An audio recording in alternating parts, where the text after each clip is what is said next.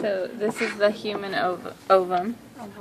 Two cell zygote, four cell zygote, further division of a zygote, morula, and then blastocyst with inner cell mass, and then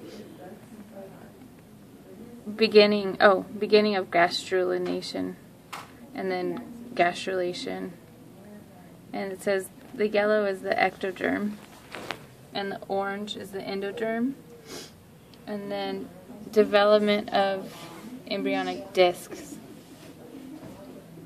the chorionic villi. What's the um, red one?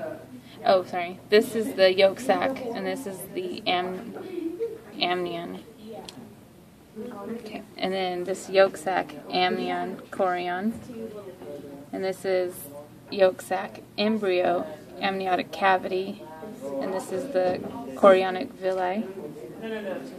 And then embryo, allantois.